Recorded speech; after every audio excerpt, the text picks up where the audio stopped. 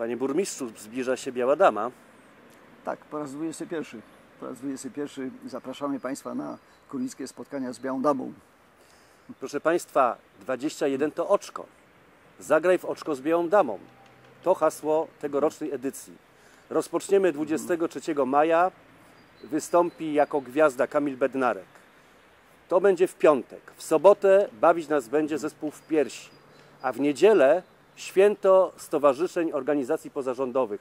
Po raz drugi będziemy mogli udowodnić, że gmina Kurnik jest wylęgarnią pomysłów. Serdecznie zapraszamy tutaj na Prowent. I po raz kolejny będziemy wybierać naszą kurnicką Białą Damę. Zapraszamy Państwa.